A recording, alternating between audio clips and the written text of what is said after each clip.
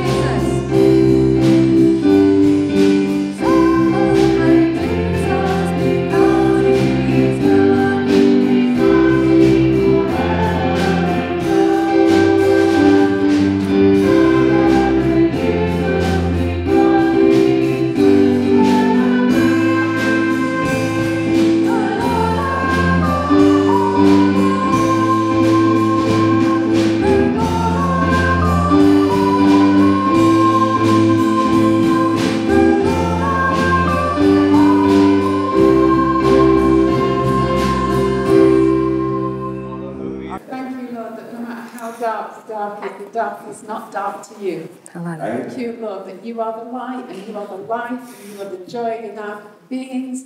That mm. you have our secure future in your oh, hands. Hallelujah. Thank you, Thank Lord. you, Jesus. Darkness, as Thank you, dark as it may seem, is not dark to you.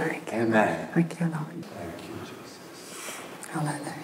You are wonderful, Counselor, mighty God. You are Prince of Peace, our Father forevermore. The Alpha, the Omega, Lord of all lords. You are wonderful, Counselor, mighty God. Hallelujah.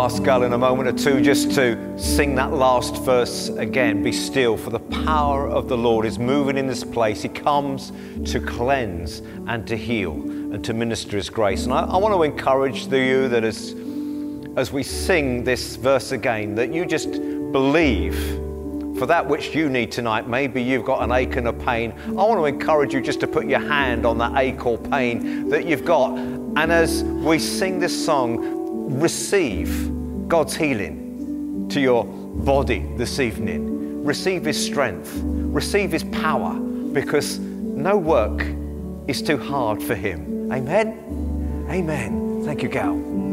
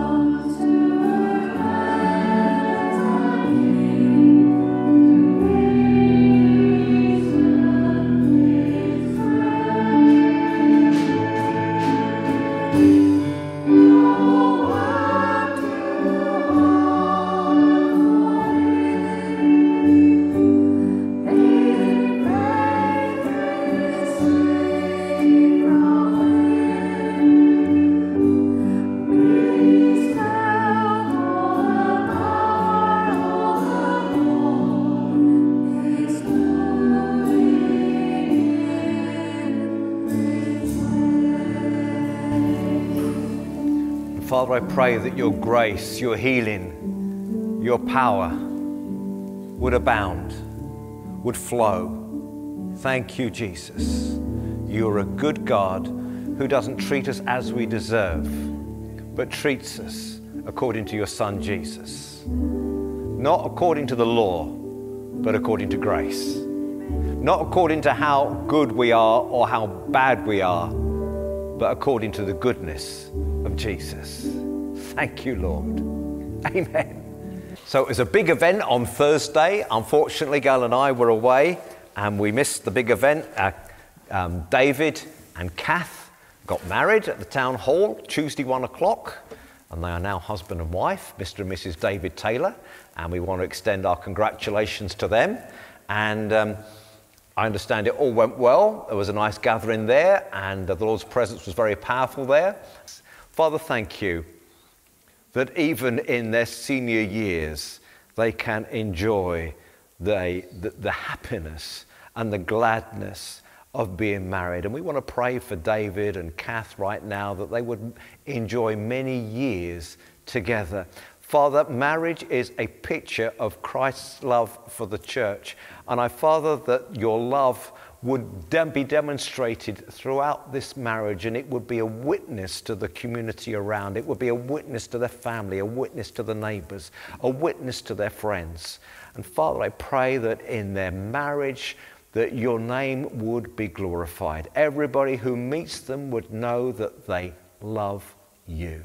Father, I pray that you would give David wisdom in his senior years, uh, Lord Jesus, to be that husband that you have called him to be. Father, that you would uh, be with Kath and that she, you, she would know uh, that, that joy of being a wife to her husband David. And Father, I pray that your blessing and your grace would abound in Jesus' name. Thank you, Lord, for them. And Father, may their joy radiate to us as well. Amen. Amen. Amen. Bless you. okay. Right, okay, we're going to do our, our message then tonight. Here it is from Mark chapter 2, verses 1 to 12, New King James Version. Uh, a more lengthy passage than we might have, but it brings us into context here. And again, he entered Capernaum after some days, and it was heard that he was in the house. Immediately, many gathered, so that there was no longer room to receive them, not even near the door. And he preached the word of God to them. Then they came to him, bringing a paralytic who was carried by four men. And when they could not come near him because of the crowd, they uncovered the roof where he was. So when they'd broken through, they let down the bed on which the paralytic was lying. When Jesus saw their faith, he said to the paralytic, Son, your sins are forgiven you. And some of the scribes who were sitting there and reasoning in their hearts uh, were sitting there reasoning in their hearts, why does this man speak blasphemies like this? Who can forgive sins but God alone? But immediately, when Jesus perceived in his spirit that they reasoned thus with themselves, he said to them, Why do you reason about these things in your hearts? Which is easier to say to the paralytic, Your sins are forgiven to you, or to say, Arise, take up your bed and walk? But that you may know that the Son of God, Son of Man, has power on earth to forgive sins, he said to the paralytic, I say to you, rise, take your bed, and go to your house. Immediately he took up the bed and went out in the presence of them all, so that all were amazed and glorified God, saying, We have never seen anything quite like this. So Jesus is in Capernaum again. Um, Luke gives us the detail that he wasn't welcome in his own town of Nazareth.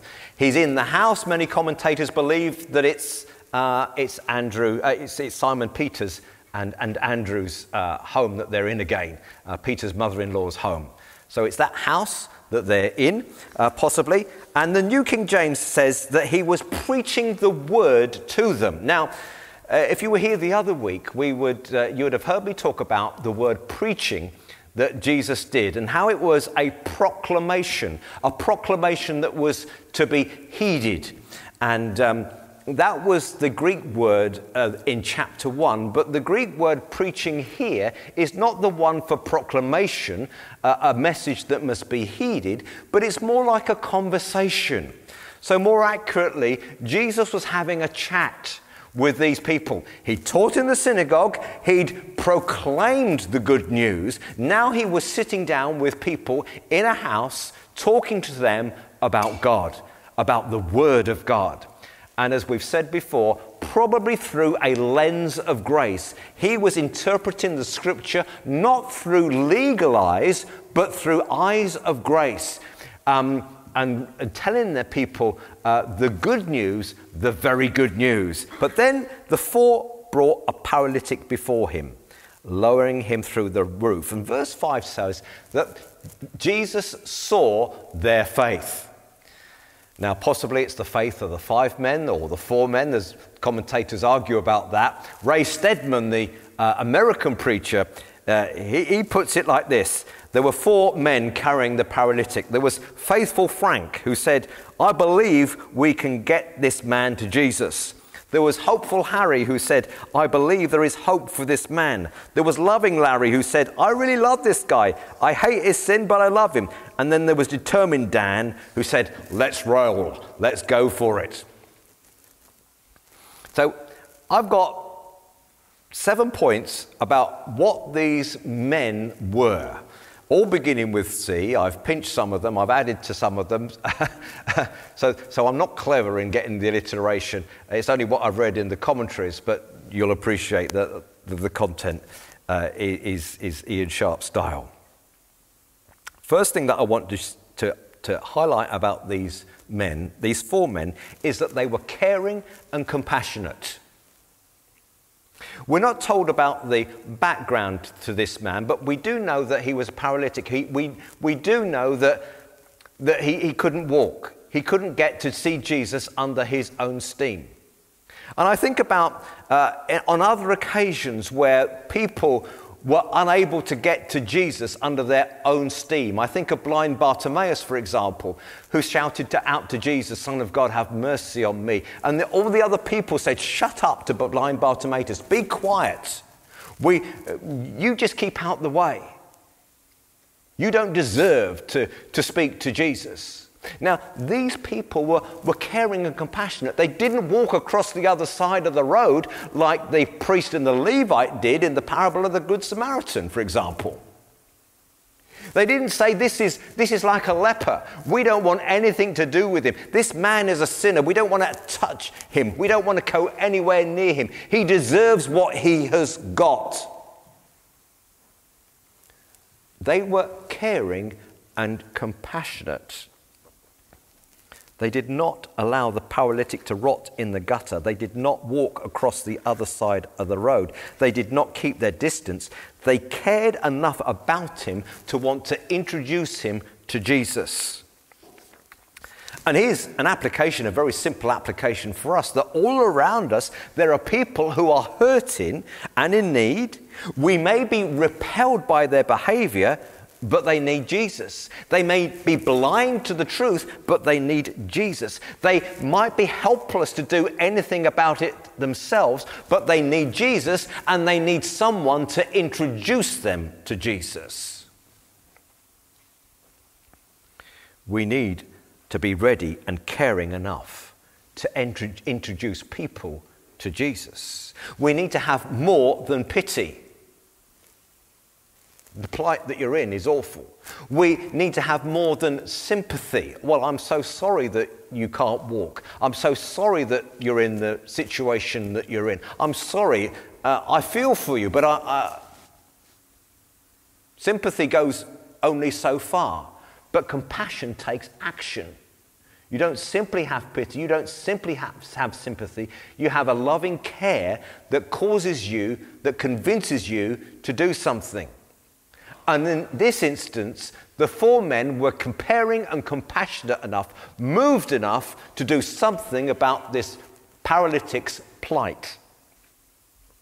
But then I also to think that they were crazily courageous. Courage is the opposite of timidity and fear. Others might thought that they were crazy. What do you think that you're going to carry this man all the way to see Jesus and you're going to be determined enough to tear the roof off so that Jesus can see him face to face and minister to him? You're crazy enough to think that Jesus can do something for this man. Now,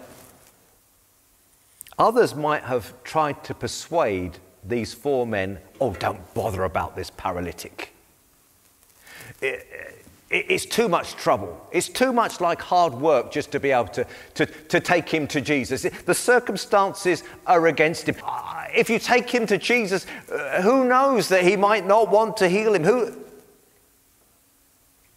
They faced opposition, but it takes courage to help someone that nobody else wants to help. It takes courage to believe against the tide of, of opinion. It takes courage to believe for something everybody else thinks is impossible. It takes courage to do something when others around you think that you are crazy. Now, I don't know about you, but I can think about circumstances where, where I've prayed for people and ask God to move in situations, and all around people have been saying, There's no point, don't bother, it's, it's just a waste of time.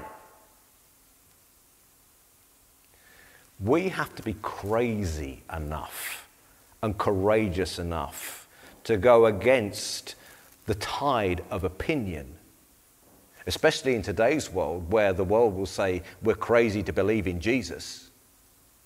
We need to have the courage to believe that with Jesus, all things are possible. The men could have been dismayed and thought there was no hope. They could have been afraid of what others might have thought and for their own reputation. But these men did not have fear, they had faith. They did something that had never been done before. I'm thinking of Noah now as well, because when God asked God to, when God asked Noah to build the ark, it had never rained before. There's going to be a flood. And all these people came round and said to Noah, You're crazy. What are you doing building an ark? What? There's going to be a flood? Eh? What's a flood? It's never rained before. Because pre flood times, uh, the, the way of the world was different. It's never rained before. But Noah believed what God had said. And we need to be crazy enough to believe what God has said and not give up.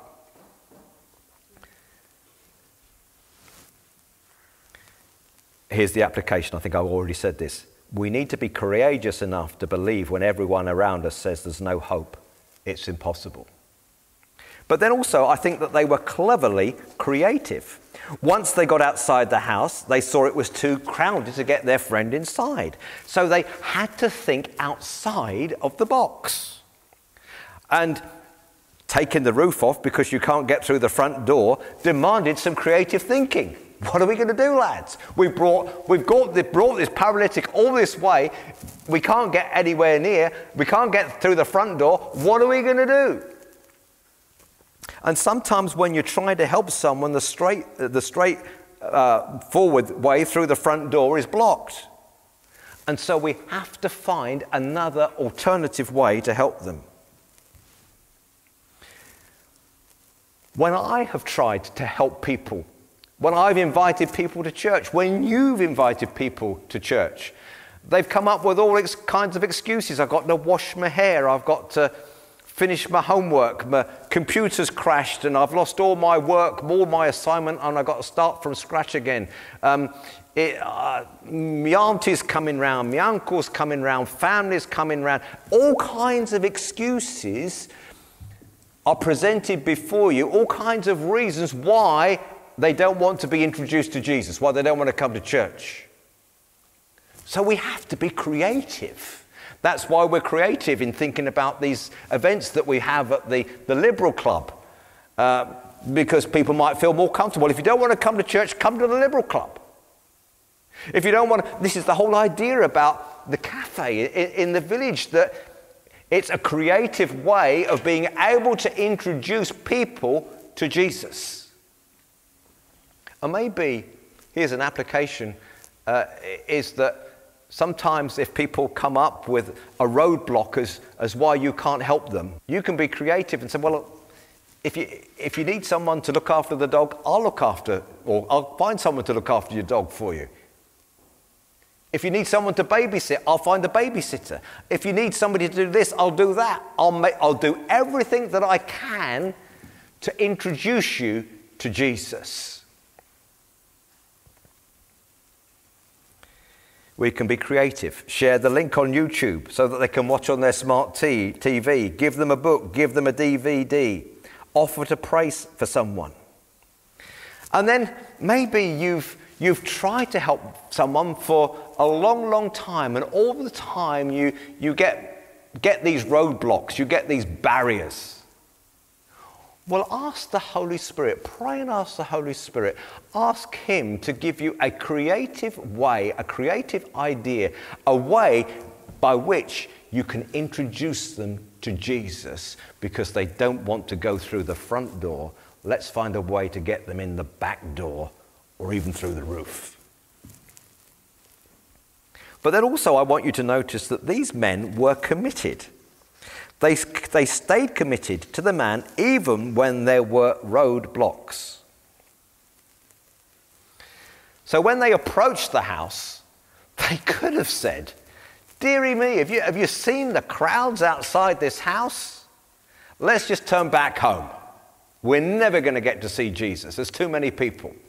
Um, I, I, I, this was a, a number of years ago. A girl and I decided that we were going to go to Meadowhall uh, for the New Year's sales. It must have, I don't know whether it was before Joshua was born or whether he was very young. I know it was a long time ago now because we've never done it since.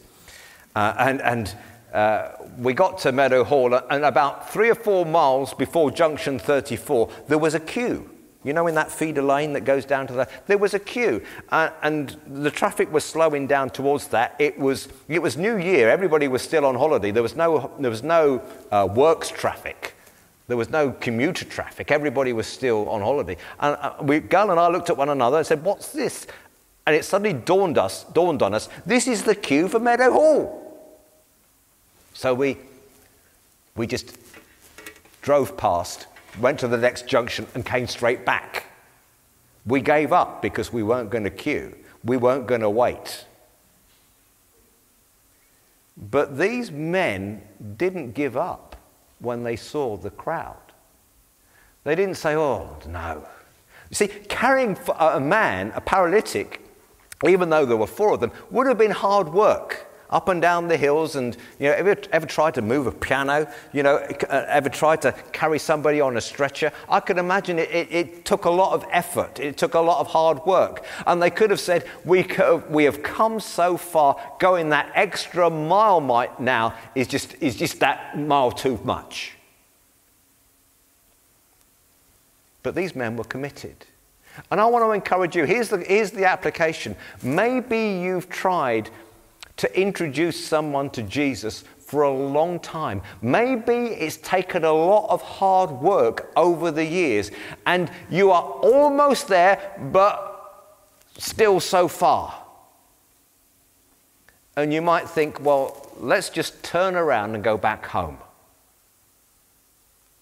I want to encourage you don't give up on the people that you are trying to reach for Jesus. Don't give up on the people that you're trying to introduce for to Jesus. Remain committed to that cause. They're not too much trouble. But then also, uh, some of these points morph into one another. They were men of conviction.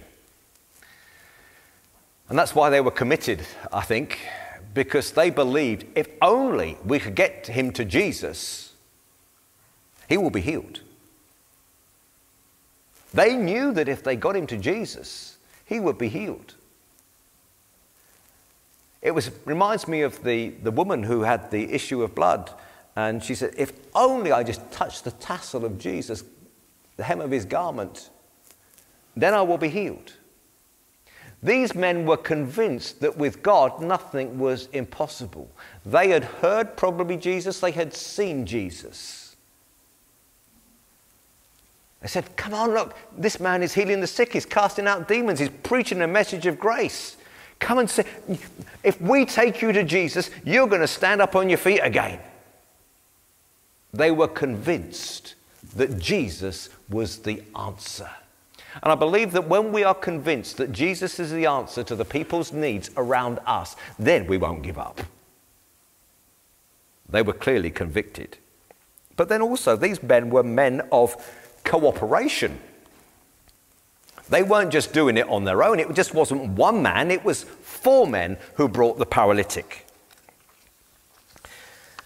Two probably wouldn't have been able to help. It needed four, a corner on each corner of the stretcher.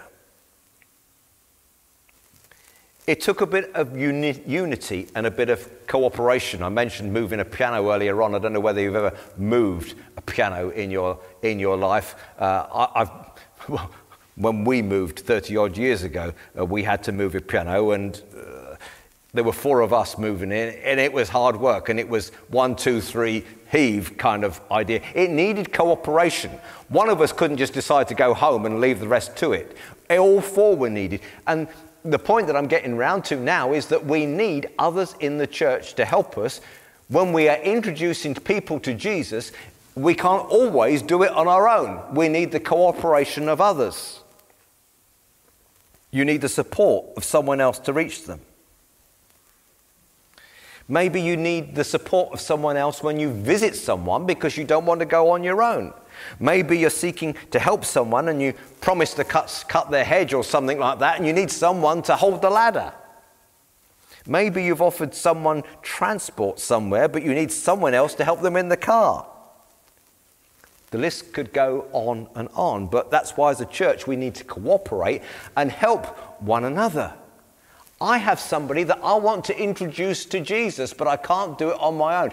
I need someone to help me. Will you help me? Maybe you might be encouraged to think about asking someone else in the church to help you as you reach out to people. If nothing else, you can say, I'm, I, am really praying, I, am really uh, reaching out to, to trying to reach out and encourage uh, one of my neighbors. Will you agree with me in prayer for them? That God will give me the right words, that He will give me the right initiative, that He will give me the right strategy to be able to invite them and the right approach, the right words to say. Will you pray for me? Will you encourage me in that way? Can you cooperate with me? Will you agree with me in Jesus' name? We need the encouragement and support of one another. Ask someone to help you. But then, lastly, of the seven points, beginning with C, they counted the cost. It will certainly cost you something to bring someone to Jesus. To introduce someone to Jesus will cost you something. For the men, not only did it cost them the hard effort and the hard graft to carry him all the way to the house, but it cost them the cost of the repairing the roof. Now, the scripture doesn't go into detail, but I could imagine that these men just didn't tear the roof off and at the end of the day walk away and said, Oh, claim it on your insurance or let somebody else put it back together. I would have thought that if they were caring enough and compassionate enough as they were about the paralytic, they would have been caring and caring enough about the damage that they'd done to the roof as they tore it apart so they could lower the man down. They counted the cost, they were prepared to pay the cost. Introducing someone to Jesus will cost you time, might cost you money, it will cost you your time and energy, it will cost you your favorite TV show, it will cost you. Luke 14:33 and the message says this simply put if you're not willing to take what it is dearest to you whether plans or people and kiss it goodbye you can't be my disciple I think these men showed that they were willing to pay the price to introduce someone to Jesus. So, they, they were caring and compassionate, they were committed, they counted the cost, they were clearly convicted. What were the other ones? I can't remember them off the top of my head now, we'll review in a minute. But they did so because they wanted to introduce somebody to Jesus. It's a model for us to follow. In our minutes that we've got left, let's just look at these last verses. When Jesus saw their faith, he said to the paralytic, Your son, your son, your sins are forgiven you. Now, in those days, it was thought that if you were ill, if you were sick, if you were paralyzed, well, then it was because of something that you had done.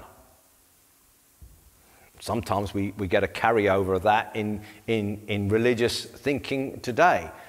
In fact, somebody rang me up earlier on in the week and something had gone wrong in their life, and they said, Do you think that it is something that I have done wrong? As if God was punishing them for doing something that they shouldn't have done.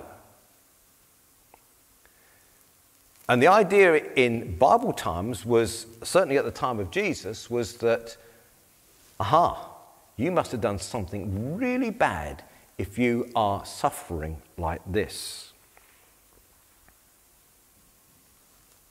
So the paralyzed man would have been lowered through the roof, thinking to himself, I've committed some dreadful sins in my life, and they would have been a roadblock in his mind to him being healed.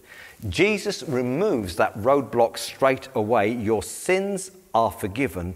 There is no reason why you cannot be healed. And it's important for us to recognize that truth as well because Jesus died on the cross for our sin. Even when the enemy whispers in our ears that you do not deserve to be healed because you are rotten so and so, look what you've done, because that's what the enemy does. He whispers in our ears that all the things that we've done in our past uh, mean that we are rotten people and that we are not worthy to receive healing. Jesus speaks those same words, words to us. Your sins are forgiven. I don't treat you according to your behavior, but I treat you according to my grace. And God doesn't treat us according to our behavior. You've heard me say this before. He, he, he treats us according to what Jesus has done for us. God's grace is not based upon our goodness or our badness, if you like, but upon God's goodness, upon the goodness, the perfect life of Jesus and what he did for us on the cross. And Jesus says to this man, Your sins are forgiven. There is absolutely no reason why you cannot receive the healing that I have for you today. And some of the scribes were sitting there and reasoning in their hearts, Why does this man speak blasphemies like this? Who can forgive sins but God alone? And actually, this is a good, just a, a good Bible verse for the Jehovah's Witnesses because this verse actually demonstrates that Jesus is the Son of God. He is God Himself because only God can forgive sins. And the fact that Jesus forgave the man's sins proves that He is God. They reasoned this man forgiving sins, he must be, be um, blaspheming, but he wasn't. But immediately, when Jesus perceived in his spirit that they reasoned thus within themselves, he said to them, Why do you reason about these things in your hearts? Which is easier to say to the paralytic, Your sons are sins are forgiven, or to say, Arise, take up your bed, and walk? But so that you know that the Son of Man has the power on earth to forgive sins, he said to the paralytic, I say to you, Arise, take up your bed, and go to your house. Now, the commentators are divided on this, but this is what I think. What is it easier to say? Is it easier to say your sins are forgiven or rise up and walk? I think it's easier to say your sins are forgiven. Uh, your sins are forgiven because you, you can't see an immediate result. Both are humanly impossible to do, but it's easier to say your sins are forgiven, forgiven because there isn't a way to discern if that happens. But you can see if the chap's healed. It, therefore, it must be harder to say be healed because we could immediately see whether or not it came to pass. So Jesus did that which was the hardest thing to say to prove uh, that he had the power to do that which was the easier to say. If you can do the greater, then you can certainly do the lesser.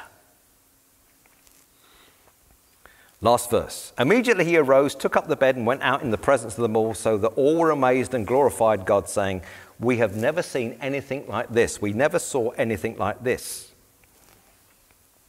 Um, they were amazed. They were flabbergasted besides themselves. We've never seen anything like this. The message puts it like this um, uh, They rubbed their eyes, stunned, and then praised God, saying, We have never seen anything like this. But then, so that was the, the scripture here is sort of pointing, or, or, the way that the translators have put it is, is what we have seen with our physical eyes. We've never seen anything like this. But then when I looked at my Greek dictionary, I noticed that it's not only to see with our physical eyes, but to perceive with our minds. And another way that we could look at it is not only as, wow, we've never seen anybody get off a stretcher before, but we have never perceived the grace of Jesus, the grace of God before. We've never fully understood that our sins are forgiven. Wow. We thought that God was out to get us. But now we realize, now we see that God is for us. And they were amazed. We've never heard, we've never seen anything like this ever before. Never before had they perceived and understood this, this spiritual truth. Jesus doesn't treat this man according to his behavior, but according to his grace. So let's wrap up. This, uh, this, is account, uh, this is an account of men who have caring and compassionate faith, a courageous, crazy faith, a committed faith with clear conviction, a faith willing to count the cost. Men who are willing to join their faith and agree, cooperate together to see this man healed. They are a model for us to follow. But before we go, we've talked about the four men, and maybe you feel like the man on the stretcher, and you need the crazy faith of others who have a clear conviction that Jesus is the answer. You need help and support, others who will stand with you before Jesus so that you too will perceive with your own eyes, with your own spiritual eyes, the truth that God is gracious, He doesn't treat you as you, as you deserve according to your behavior, but according to His grace and according to His unmerited favor. And if you say, I need someone just to carry and support me and agree with me, pray for me, well, we'll gladly pray for you at the end of the service. Make your way to the front and we'll, we'll agree with you because God is gracious. If you're at home and you want prayer, call me, email me, phone me up. We'll have the numbers and the email address in a moment. Um, and we'll gladly pray with you and for you. We are caring and compassionate enough to bring you before Jesus and introduce you to Him and to His grace. And His grace will abound and flow. Amen. Thank you, Gail.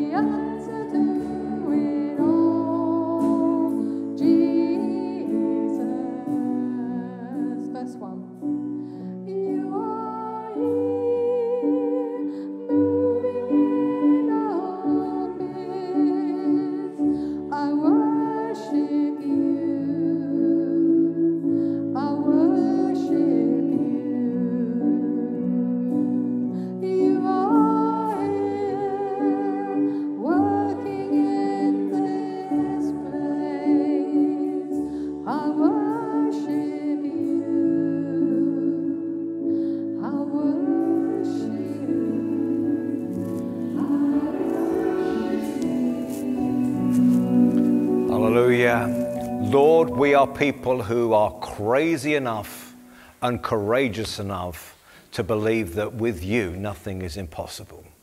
We are crazy enough and courageous enough. We are clearly and utterly convicted that you want to help the people that, who are our friends who don't know you. We know that you are the answer to their mess. We know that the, you are the answer to their deepest need. And Father, help us to be cleverly creative. Inspire us by your Holy Spirit so that we can introduce them to Jesus. May we cooperate with one another. May we be willing to count the cost, pay the cost, so that people come into a living relationship with you and their lives are changed forever. Father, may we not be people who walk on the other side of the road or tell people to be quiet or people who say we can't be bothered, it's not worth our time. Father, may we be people who are compassionate and caring and see your glory revealed in their lives. Amen. Don't forget, if you want us to pray for you, we'll pray for you now. If you want us to pray for you and you're at home watching on this on your TV, give us a call 01484 323 978. You can call me on my mobile 0747 277 3243. You can email me at info at hvelim.org.uk. Oh, it's been nice to see you this evening. Thank you for coming. Thank you for watching. And don't forget that we love you, God loves you, and that we are blessed, blessed by the best. See you again soon. Amen.